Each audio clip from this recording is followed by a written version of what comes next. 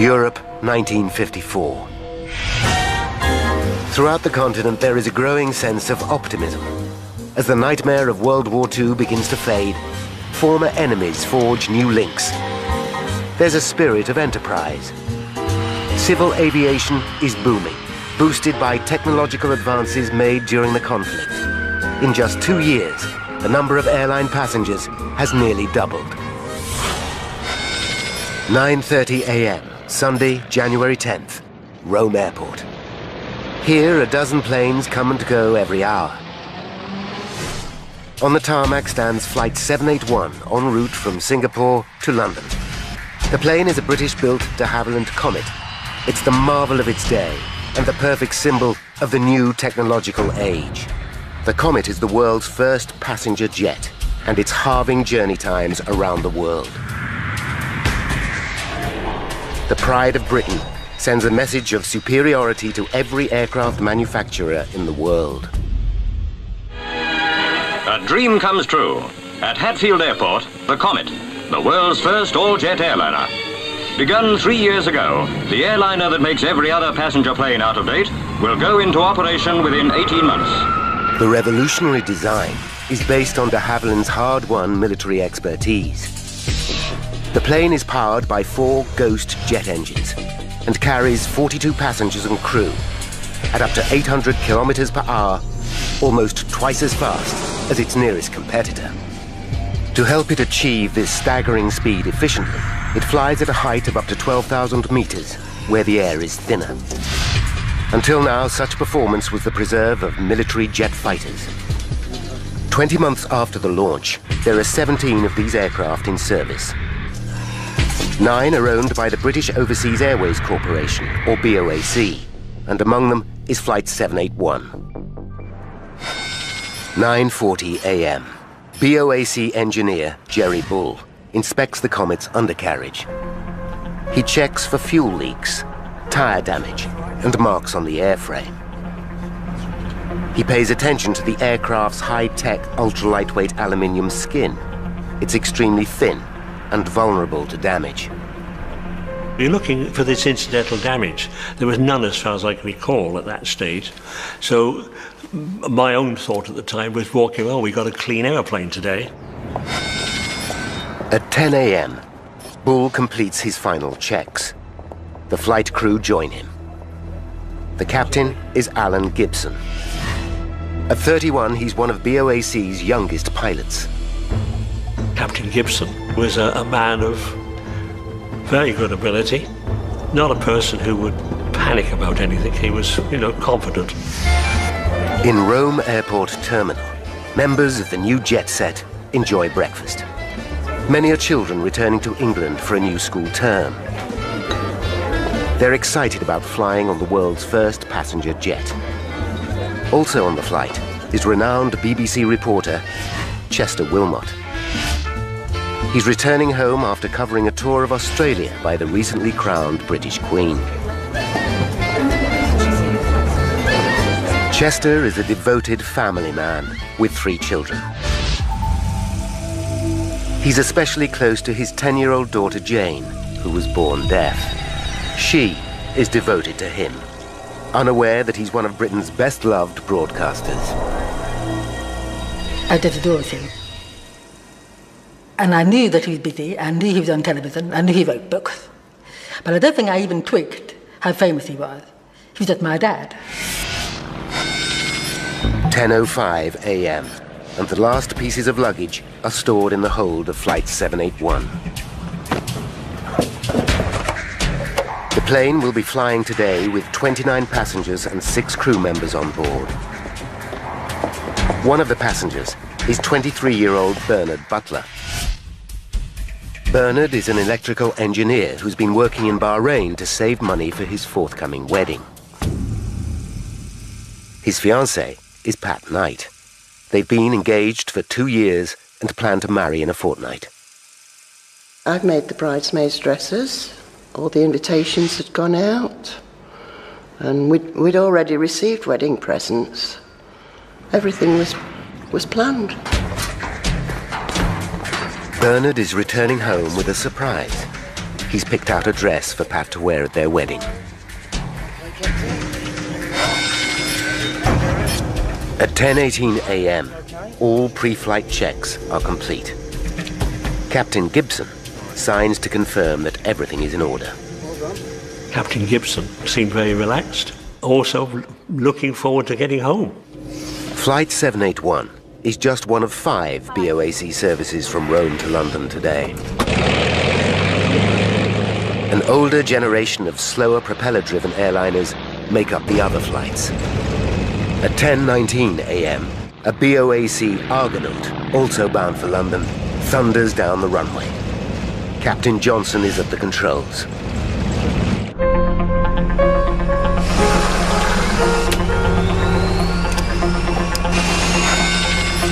At 10.30 a.m., 11 minutes after the Argonaut's departure, the Comet taxis to the runway. Jerry Bull salutes goodbye.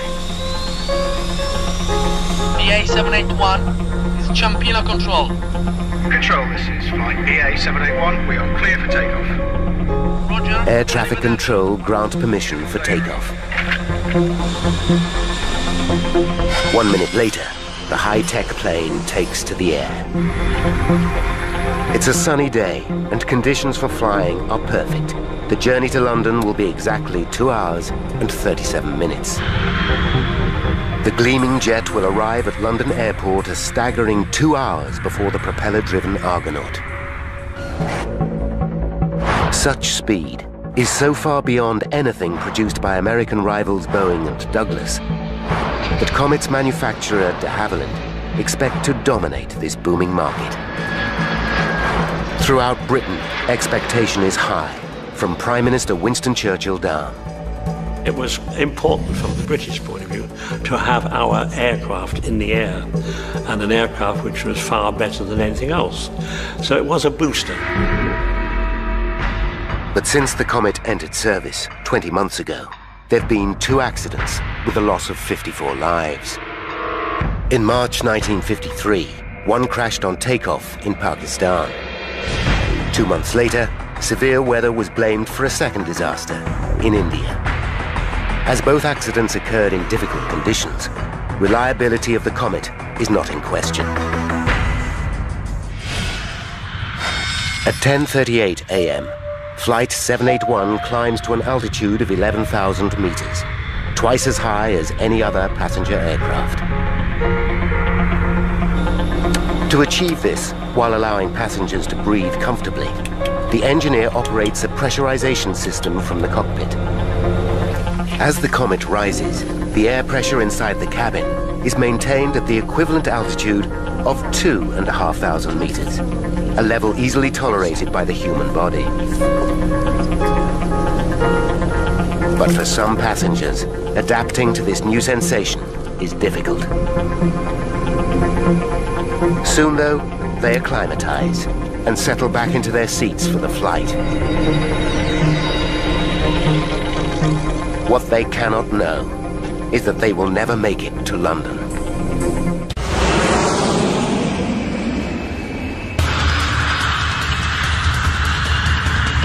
Nineteen fifty-four, and the state-of-the-art Comet jet airliner has taken off from Rome en route to London. On board are 29 passengers and six crew.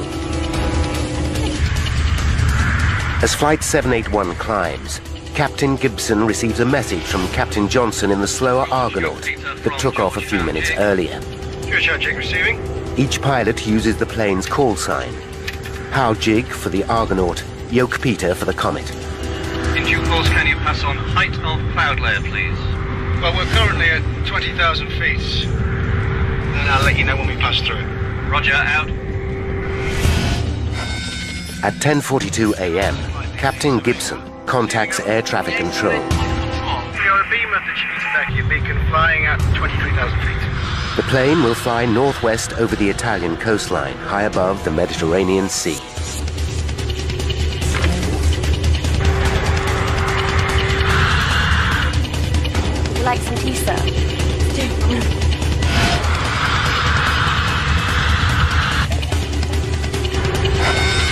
10.51 a.m., Captain Gibson again radios the Argonaut.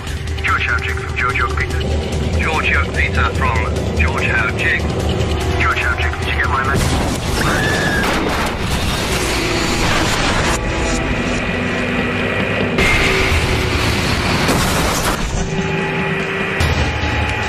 The message ends mid-sentence. Yoke Peter, Yoke Peter, come in,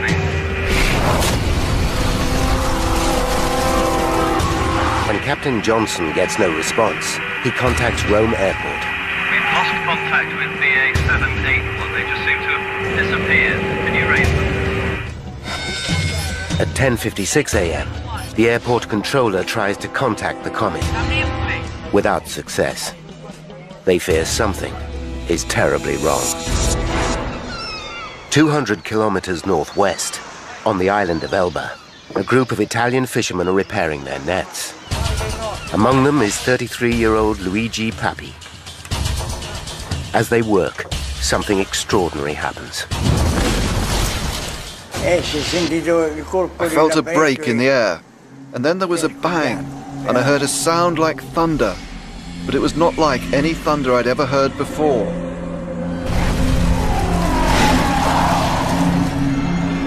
They watch in amazement as flaming wreckage falls from the sky.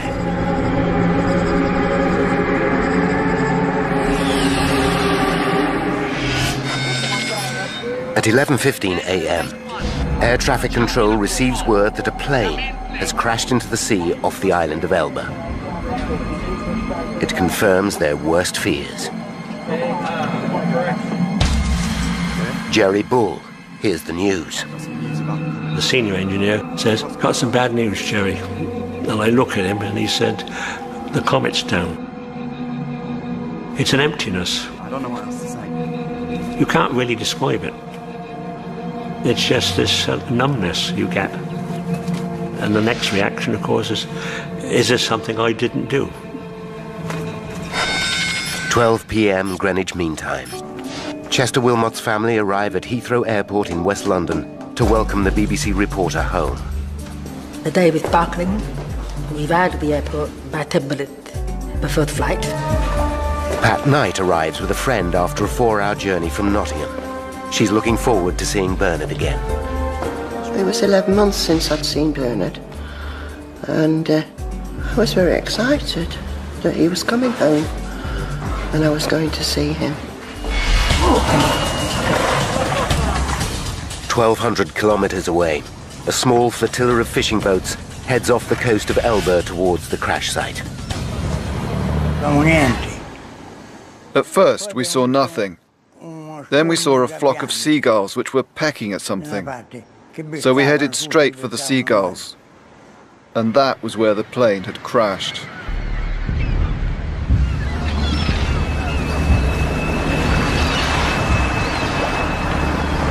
It's a harrowing scene.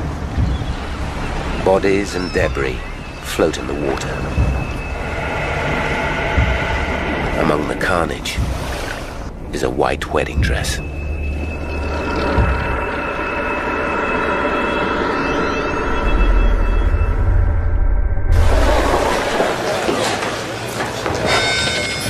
One thirty p.m. Flight 781 is now over an hour late. Airport staff mark the plane as delayed.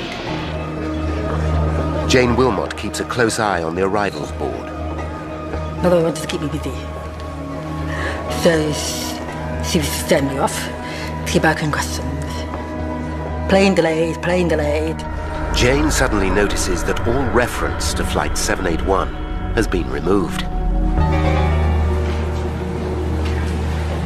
She decides to ask at the BOAC desk. And I asked questions of why is it not there on the? Not on the list anymore. Why is it gone? Oh, I'm afraid I can't give you that information at the moment, dear. We can't tell you. Have you got someone with you? Go and get your mother. I'll be happy to speak with your mother. Edith Wilmot is taken to a side room. Her children wait outside. They still believe their father's plane is delayed. How this? Oh well. These things happen. Minutes later, Edith returns visibly shocked and close to tears. Darlings, there's been an accident. She tells her children that Chester is dead. Jane will never see her beloved father again. I just can't believe it was happening. But I was very upset because I knew he was coming home for my birthday. And I kept on saying to myself, it wasn't his fault.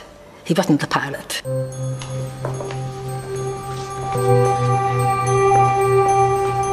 The grim task of informing friends and relatives continues. Patricia Knight can scarcely believe what she hears. We were told to come down. They didn't know whether there were bodies found or not.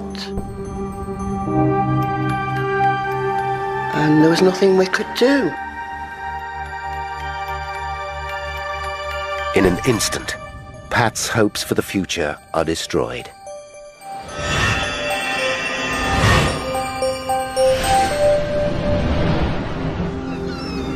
In Italy, the fishermen begin the gruesome task of recovering bodies. It was a big shock. Every time we went near a corpse, we would shout, Come over here, come over here, because they seemed still alive. Their eyes were open. But when we got near, you could see they were dead. In total, 35 passengers and crew die on board Comet Flight 781. 15 bodies are recovered. There are no survivors.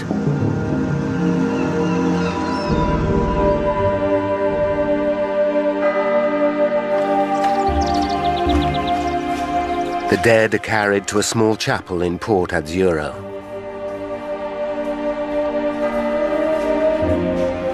Local people say prayers. Children bring flowers.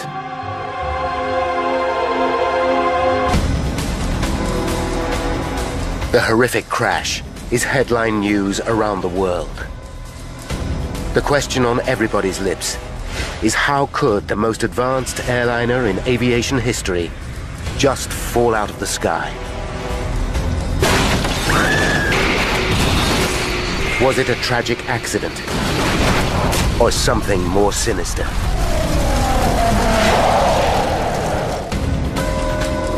In 1954, the mysterious crash of the comet dominates the thoughts of the British nation. What could have possibly caused the most advanced passenger plane in history to disintegrate in midair? Within hours of the crash, a team of experts working for BOAC begin a technical examination of the Comet fleet. They must discover if there's a flaw in the design or a manufacturing fault. Britain's position as the world leader in passenger jet travel depends upon it. The inquiry that follows will turn into one of the most complex and important in aviation history. Now, by going deep into the investigation, we can reveal the critical chain of events that caused the downing of Flight 781. Paul Withy is an aviation metallurgist. For six years, he studied the comet investigation and is an expert on this turning point in aviation safety. Withy knows that with no established protocol for air crash investigation, it was an epic task. The difficulties they faced as an investigation team was to develop a whole new series of techniques for looking into a major air crash. And they had to really invent tests, invent methods of doing things as they went along. But Withy needs to be sure that this landmark case actually did get to the truth. Now, for the first time in half a century, he will re-examine the vital evidence. If he discovers their findings are wrong, it will rewrite the history of air crash investigation. From the beginning, the inquiry team are faced with an enormous challenge. In 1954, the investigation team had no black boxes. They had no flight data recorders. They had no way of understanding what was going on in the plane at the time of the accident. Their best clue, the aircraft itself, lies at the bottom of the Mediterranean Sea. Without the remains of the plane, the team know they must unravel the mystery with the flimsiest of evidence. With little to go on, the press speculate that sabotage might be the cause of the crash. These are the early years of the Cold War, and there are fears that subversive communists may be responsible. Sabotage, a bomb. I mean, that came up fairly rapidly, you know, it was, it has to be. How did it happen?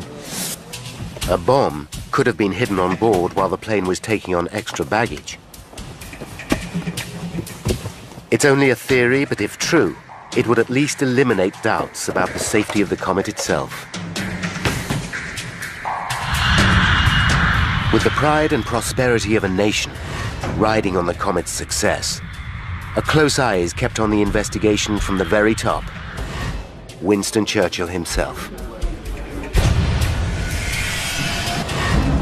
If saboteurs are responsible, the investigators know they must come up with hard evidence. They know that Flight 781 would have been flying at around 11,000 meters when something caused it to break up and fall from the sky. The Italian fishermen provide a few clues. I saw a huge ball of fire rotating and plunging into the sea. It left a huge, huge cloud of smoke. Captain Johnson, pilot of the Argonaut, deepens the mystery. The radio went dead in mid-sentence. Everything just cut out instantly. But it's the victims themselves that provide the biggest mystery. Within hours of the crash, Italian pathologist Dr. Antoni Fornari examines the bodies. Despite Fornari's considerable experience, he finds a pattern of injuries he has never seen before. The victims suffered broken limbs and damaged ribs, injuries sustained after death. But what confuses Fornari is that many of the bodies have fractured skulls, wounds he discovers that were sustained before death. He finds another puzzling clue. The lungs of almost all the victims are extensively damaged. Many have ruptured like an exploding balloon. To top it all, Fornari finds no evidence of a bomb blast. It's a strange, perplexing picture, and he's baffled. With so little evidence, the investigation hits a dead end. Concerned, Prime Minister Churchill summons his advisors and takes an unprecedented step. Churchill commands the Royal Navy to retrieve the wreckage of Flight 781 from the seabed. His orders are simple. Endeavor to locate and solve Comet. The task, however, is anything but simple. There has never been a salvage operation like it before. The wreckage lies at a depth of 120 meters, and no one knows exactly where. Today, if an aircraft crashed in similar circumstances, the black box recorders would have transponders and would lead the investigators and the, and the recovery teams to the spot where the aircraft was. The Navy didn't have that information. HMS Wrangler, an anti-submarine frigate, searches an area of 260 square kilometers. Three salvage vessels are on hand to help. They're equipped with the most up-to-date technology, including an underwater camera and a deep-sea observation chamber. But progress is delayed by bad weather. Then, on February 12th, 33 days after the crash, Navy experts identify the first piece of the comet wreckage on the underwater camera. Divers descend to the seafloor. Over the next few weeks, small bits of debris are sent back to England for examination. Then comes a major find. A large section of the rear fuselage is located and brought to the surface. Meanwhile in London, the Comet fleet sits idle. BOAC hemorrhages cash at the rate of £50,000 per week. With so much invested in the aircraft, pressure builds to get the planes back into the air. On March 23rd, 10 weeks after the disaster, the British government give the airline the go-ahead to resume service. At London Airport, a Comet airliner about to leave for Johannesburg was taking out extra crew members. Press and television attend the relaunch. Everybody was in high spirits at the resumption of Comet flying. BOAC Chairman Sir Miles Thomas gives the Comet a public vote of confidence. We obviously wouldn't be flying the Comet with passengers in it on service were we not wholly satisfied that the conditions are acceptable for carrying passengers anywhere in the world.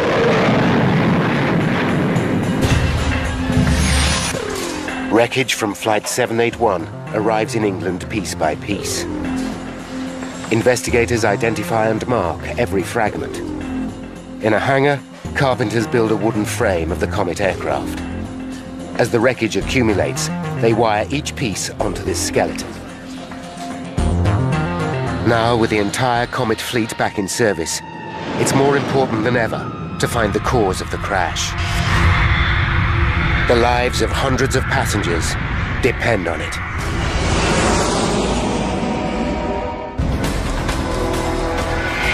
April 1954. While investigators urgently look for clues into the crash of Comet Flight 781, the British government give BOAC the go-ahead to relaunch their Comet fleet. It's a terrible mistake. At 6.32 p.m. on April 8th, 16 days after the resumption of flying, a Comet takes off from Rome bound for Egypt. 14 passengers and seven crew members are on board. 33 minutes into the flight, the pilot reports that he's on course flying at 11,000 meters. It's his final message.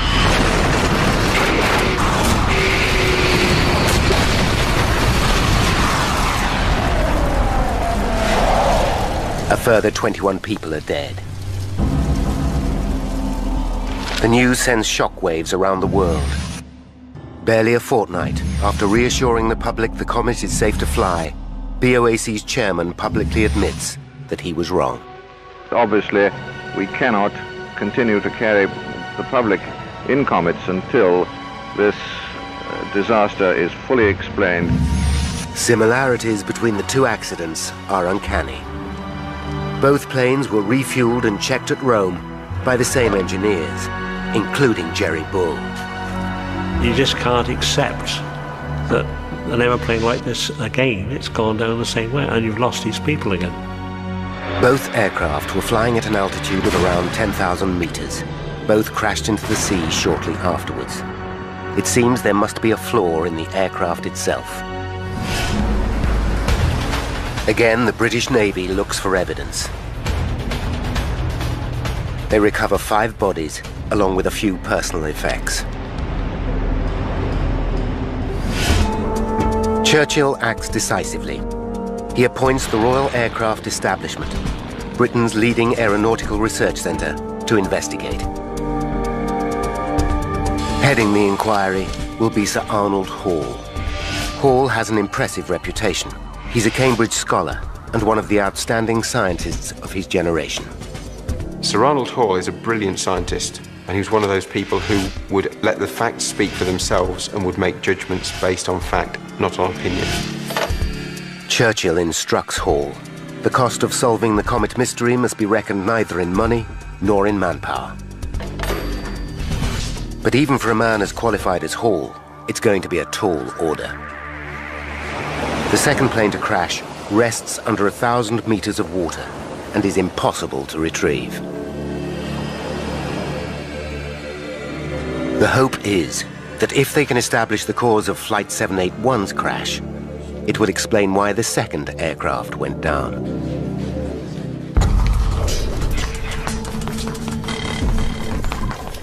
Over the next four months, 781's wreckage is methodically pieced together at Sir Arnold Hall's headquarters in Farnborough. It's groundbreaking work. Never before on that scale had an aircraft been reassembled by anyone, and the investigation team had to learn how to do it and develop the techniques and, and tools to reassemble a very badly damaged aircraft. As they examine each piece of debris, they find intriguing clues.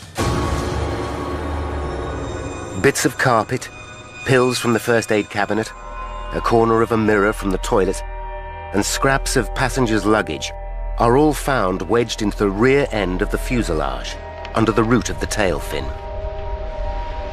It suggests an explosion at the front of the cabin that blasted personal belongings to the rear of the plane. The question is, how and where did the explosion start? As the wreckage begins to provide some clues, so too do the victims. Four of the bodies retrieved from the second crash are flown to Britain for post-mortem. The pathologist finds identical injuries to those of Flight 781, fractured skulls and ruptured lungs. Paul has a hunch. Could the entire plane have burst like a balloon? After all, the pressurized cabin designed to keep passengers comfortable would mean that the aluminium skin of the Comet is highly stressed. Any structural failure, and it might simply explode of its own accord. Such a violent decompression, as it's called, has never happened on a passenger plane before, but Hall and his team believe this could explain the terrible injuries. To test the theory, they stage a pioneering experiment. The team build a Perspex model of the fuselage, one-tenth the actual size. The cabin includes 28 miniature seats with six dummies. The model is housed inside a pressure chamber. When the pressure in the fuselage is increased to eight and a quarter pounds, the equivalent of flying at 12,000 meters, the team deliberately rupture the model.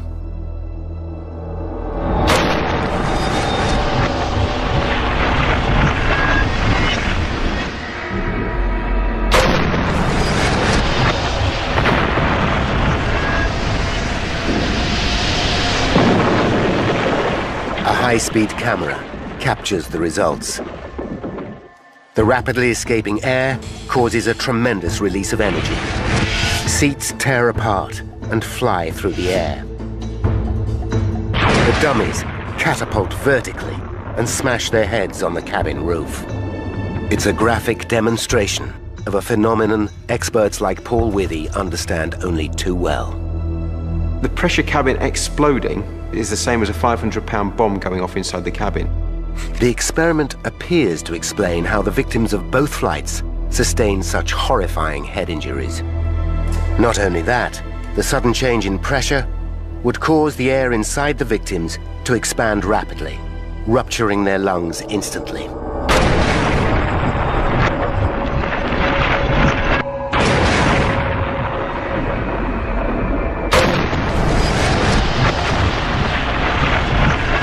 If explosive decompression can explain what happened to both planes, the team must discover exactly what caused the weakness in the structure of the fuselage. But a failure in the aluminium skin seems implausible. The manufacturer's own tests show the natural life expectancy of the fuselage is over 10,000 flights, many more than the number flown by the two crashed planes. Nevertheless, Sir Arnold is not a man to leave any stone unturned.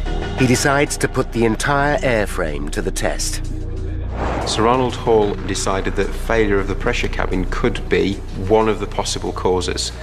And because he wanted to make sure that everything was looked at, this was just one of the tests that was performed. Before testing begins, the team look closely at the Comet design. They discover that to withstand the stress caused by repeated pressurizations, the skin of the aircraft must be immensely strong, but it must also be extremely light. In order to achieve this, de Havilland developed a lightweight aluminium alloy skin, just over half a millimeter thick.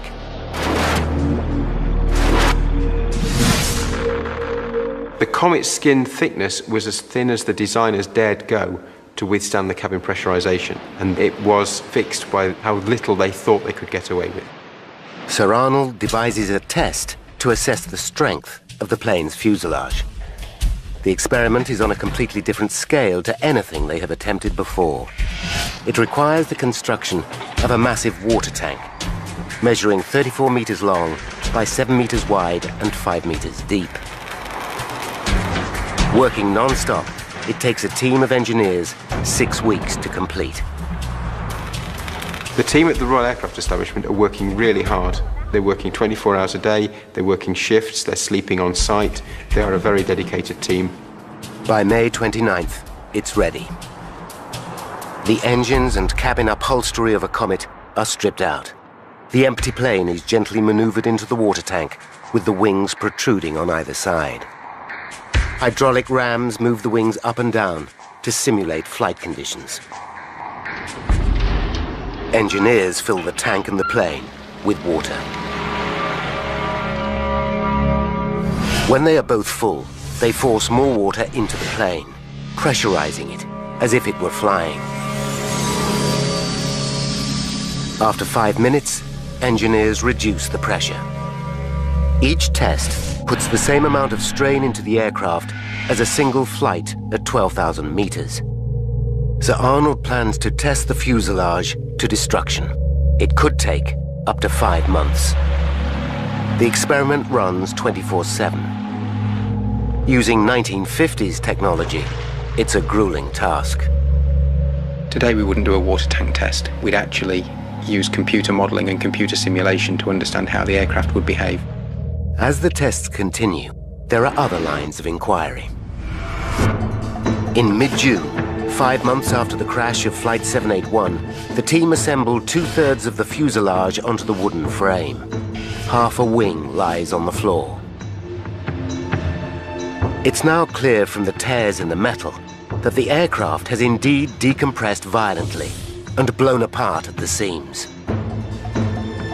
By following the fractures back to where they started, they think the initial failure was probably at the front of the fuselage, somewhere between the cabin and the cockpit. It seems as if the tail and rear fuselage then came away from the main cabin. The rear wing structure followed, and then the outer wingtips. The cockpit broke away as the plane plummeted to Earth, and finally fuel from the wings set the debris ablaze. But the exact cause of this tragedy is still a mystery. Then, on June 24th, Sir Arnold Hall gets a call that changes everything. The team running the water tank test has had a major breakthrough.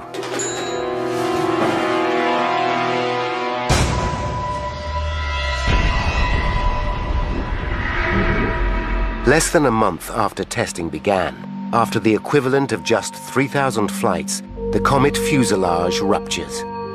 Engineers immediately drain the tank, and Sir Arnold Hall inspects the damage.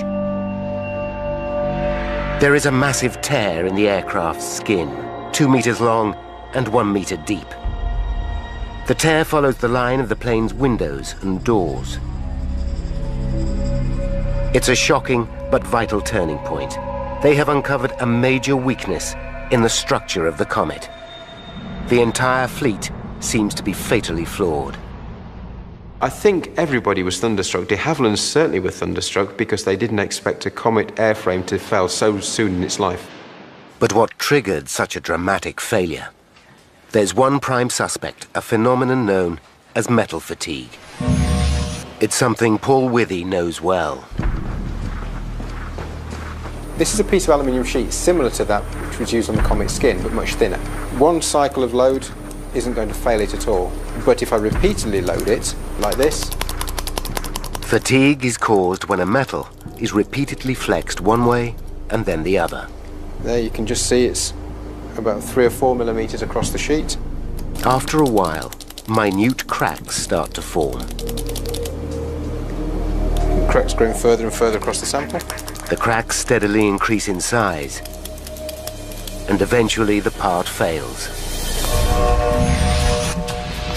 But there are two problems with this explanation. Metal fatigue leaves a telltale microscopic pattern on the surface of the metal. Although in the 1950s, the technology for detecting this pattern is in its infancy, none of the parts reclaimed from the sea seem to show any sign of it.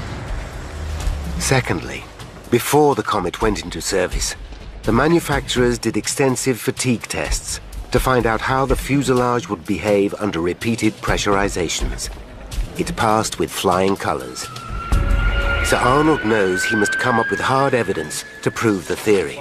He must find a part of Flight 781 that shows signs of the fatigue. The piece of evidence that Sir Arnold needed above all other was that source of fatigue crack growth that he knew was there in the airframe somewhere.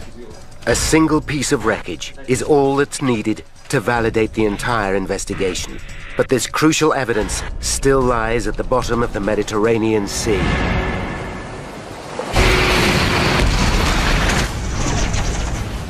It's 1954, and investigator Sir Arnold Hall believes that the cause of the two comet crashes is a rupture in the plane's lightweight skin. After a unique pressure test on the comet's cabin, the team examined the two-meter split that has ripped along the side of the fuselage. They make some frightening discoveries. By tracing the tear back, they find it starts at the forward escape hatch. This is not surprising.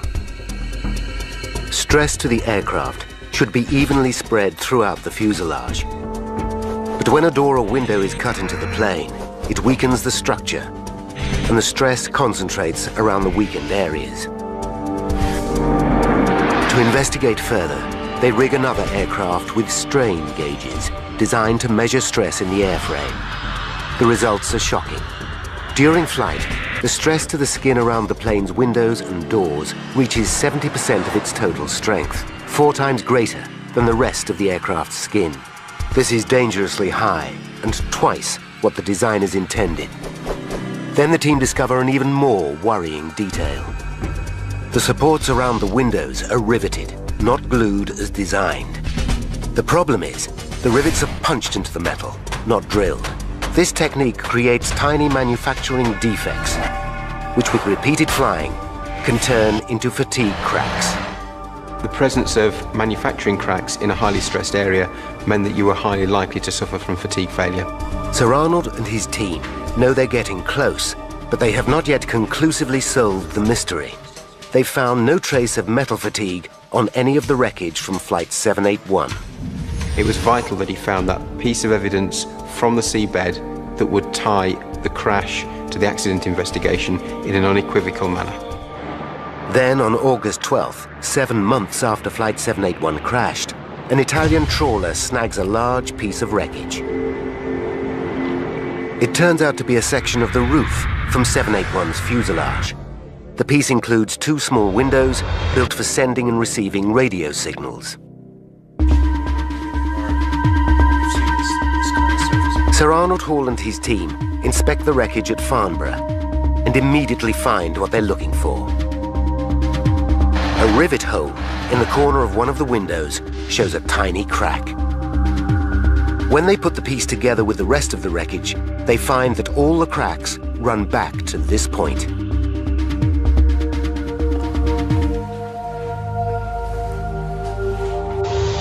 They have their missing clue. The future of the Comet, the world's first passenger jet airliner, hangs upon the outcome of a court of inquiry being held at Church House. On Tuesday, October 19th, after six months of grueling work, Sir Arnold Hall presents his findings to a court of inquiry. But one detail fascinates Withy. In 1954, the techniques for analyzing metal fatigue were crude. The final piece of wreckage was examined with an ordinary microscope, and the team relied on experience to make their conclusion. Today, London Science Museum safeguards the crucial piece of wreckage. Paul Withy goes to see the historic item for himself. No one has ever used modern methods to re-examine the evidence. Using 21st century know-how, Withy wants to look again at the wreckage and check that Sir Arnold got it right. In order to preserve the damaged section, it has been mounted onto a plate. Running from a rivet hole is the crack which, it's believed, started the catastrophe. To examine the damage in more detail, Withy makes an impression of the crucial area using a silicon-based putty.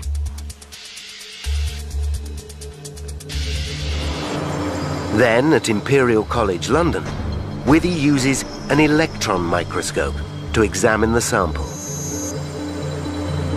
Magnifying the crack about 200 times, Withy shows what Sir Arnold would have seen.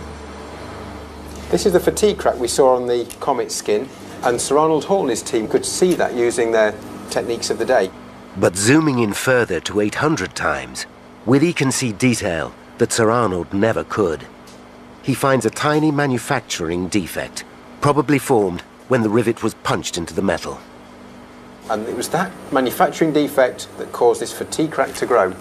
And it's this image here that shows that Sir Arnold Hall and his team were right. It vindicates them in seeing that it was a fatigue crack, which then grew to failure. 52 years after the most groundbreaking and innovative investigation in aviation history, Paul Withy has conclusive proof that Sir Arnold Hall's results are absolutely right. Now, by rewinding the events leading up to that fateful crash, and by following the evidence uncovered during the investigation, we can reveal how Flight 781 was downed. 10.31 a.m., January 10th, 1954. 26 minutes to disaster. Flight 781 takes off from Rome Airport. The plane is designed with an exceptionally thin aluminium skin. Rivets punched into the aircraft during construction create microscopic manufacturing defects. On each flight, the pressurization system puts enormous strain on the fuselage, causing stress to the skin, especially around the windows and doors. Repeated pressurizations turn the manufacturing defects into fatigue cracks that get bigger with every flight. 19 minutes to disaster. Flight 781 climbs to 11,000 meters.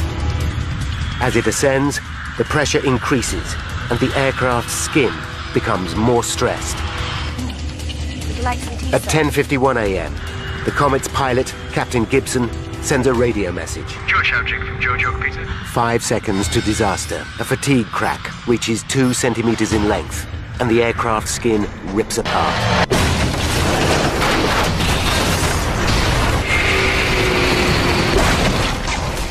At 10.57 a.m., the shattered pieces of Flight 781 fall from the sky. 35 people are dead.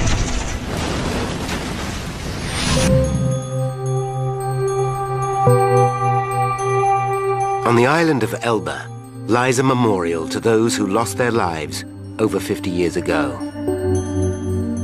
The pain of the tragedy will never be forgotten, but the scientific understanding gained during the investigation is comfort to some.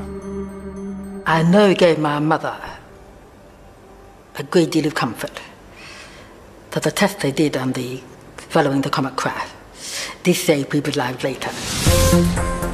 Four years after the crash, the comet did fly again, but it never achieved the commercial success it once promised.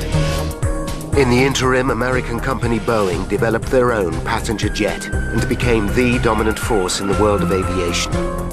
The de Havilland Aircraft Company went into decline and were eventually taken over. Passenger air travel had changed forever.